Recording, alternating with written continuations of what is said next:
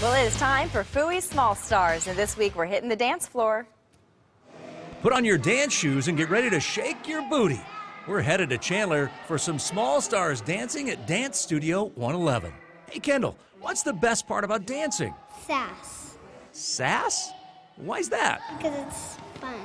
What do you think, Miley?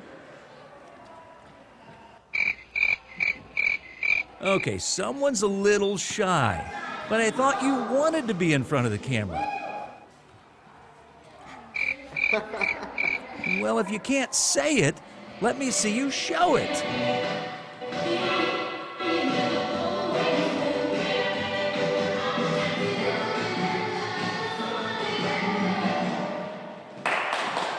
Oh, yeah, these girls can boogie. So, who's the best dancer in the class? You all are? Can't argue with that. Just check out these moves.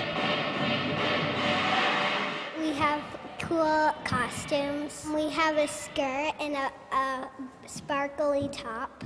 Well, you get to do fun dances and they can be cool.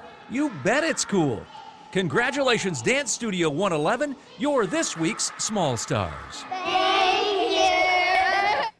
Check out this Small Star again or any of our recent Small Stars, visit our website, abc15.com. And if you know of a Small Star, contact us on our website, Facebook, or send us an email.